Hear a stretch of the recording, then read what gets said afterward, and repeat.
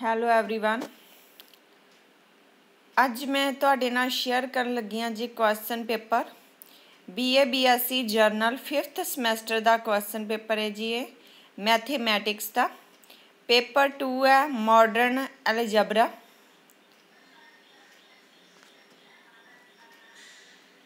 ਸੋ ਇਹ 5th semester ਦਾ question question paper ਹੈ ਸੋ total ਜੋ ਮਾਰਕਸ ਹੈ ਜੀ, ਉਹ 30 ਦਾ ਪੇਪਰ ਹੁੰਦਾ। ਤਿੰਨ ਘੰਟਿਆਂ ਦਾ ਤੁਹਾਡੇ ਕੋਲ ਟਾਈਮ ਹੁੰਦਾ ਜੀ ਇਸ ਪੇਪਰ ਨੂੰ ਕੰਪਲੀਟ ਕਰਨ ਦੇ ਲਈ। ਸੋ ਨੋਟ ਇਹਨਾਂ ਨੇ ਲਿਖਿਆ ਜੀ attempt 5 question in all selecting at least 2 question from each unit ਤੁਸੀਂ ਕਿਸੇ 5 ਕੁਐਸਚਨ ਦੇ ਆਨਸਰ ਦੇਣੇ ਹੁੰਦੇ ਆ। ਤੇ ਹਰ ਇੱਕ ਯੂਨਿਟ ਦੇ ਵਿੱਚ ਤੁਸੀਂ ਘੱਟ ਤੋਂ ਘੱਟ 2 ਜੋ ਕੁਐਸਚਨ ਹੈ, ਉਹਨਾਂ ਨੂੰ ਸਿਲੈਕਟ ਕਰਨਾ ਹੀ ਹੁੰਦਾ ਹੈ। ਇਹ ਨਹੀਂ ਹੈ ਕਿ ਤੁਸੀਂ ਇੱਕ ਯੂਨਿਟ ਦੇ ਵਿੱਚ 4 ਕੁਐਸਚਨ ਦੇ ਆਨਸਰ ਦੇਤੇ ਇਦਾਂ ਨਹੀਂ ਕਰਨਾ। ਤੁਸੀਂ ਯੂਨਿਟ 1 ਦੇ ਵਿੱਚੋਂ 2 ਦੇਣੇ ਆ ਆਨਸਰ ਤੇ ਯੂਨਿਟ 1 ਦੇ ਵਿੱਚੋਂ 2 ਦੇਣੇ ਆ ਤੇ 2 ਦੇ ਵਿੱਚੋਂ 2 ਦੇਣੇ ਆ ਤੇ ਇੱਕ ਹੈ ਜੋ ਕਿਸੇ ਦੇ ਵਿੱਚੋਂ ਵੀ ਦੇ ਸਕਦੇ ਹੋ। ਸੋ ਇਹ ਵਾਲਾ ਜੋ ਕੁਐਸਚਨ ਪੇਪਰ ਹੈ, ਮੈਂ ਤੁਹਾਨੂੰ ਸਕਰੀਨ ਤੇ ਸ਼ੋ ਕਰਵਾ ਰਹੀ ਹਾਂ। ਜੀ ਫਸਟ ਯੂਨਿਟ ਸ਼ੋ ਹੋ ਰਿਹਾ ਤੁਹਾਨੂੰ ਸਕਰੀਨ ਤੇ। ਤਾਂ ਤੁਸੀਂ ਸਕਰੀਨਸ਼ਾਟ ਲੈ ਸਕਦੇ ਹੋ। ਜੇਕਰ ਇਸ ਕੁਐਸਚਨ ਪੇਪਰ ਦੀ ਗੱਲ ਕਰੀਏ ਤਾਂ ਇਹ question paper Punjab university Chandigarh ਦੇ ਨਾਲ ਸੰਬੰਧਿਤ ਹੈ। ਜਿਹੜੇ ਵੀ ਸਟੂਡੈਂਟ ਪੰਜਾਬ ਯੂਨੀਵਰਸਿਟੀ ਚੰਡੀਗੜ੍ਹ ਤੋਂ ਬੀਏ ਬੀਐਸਸੀ ਕਰ ਰਹੇ ਆ, ਉਹ 5th ਸਮੈਸਟਰ ਦੇ ਵਿੱਚ ਹੈ। ਉਹਨਾਂ ਦੇ ਲਈ ਇਹ ਵੀਡੀਓ ਹੈਲਪਫੁਲ ਹੈ।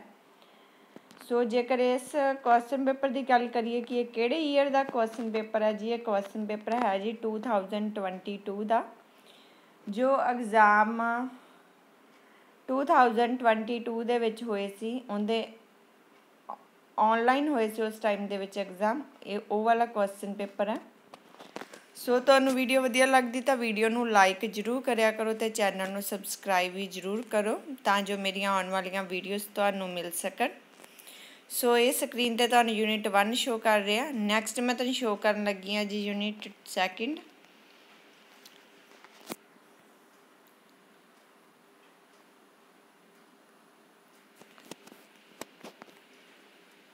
ਸੋ ਮੈਂ ਤੁਹਾਨੂੰ ਸੈਕਿੰਡ ਯੂਨਿਟ ਸ਼ੋ ਕਰਨ ਲੱਗੀ ਆ ਬਟ ਇਹ ਸਕਰੀਨ ਹੋ ਨਹੀਂ ਸੀ ਰਹੀ। ਹਾਂਜੀ, ਇਹ ਹੋ ਰਿਹਾ ਜੀ ਤੁਹਾਨੂੰ ਸਕਰੀਨ ਤੇ ਸੈਕਿੰਡ ਯੂਨਿਟ ਸ਼ੋ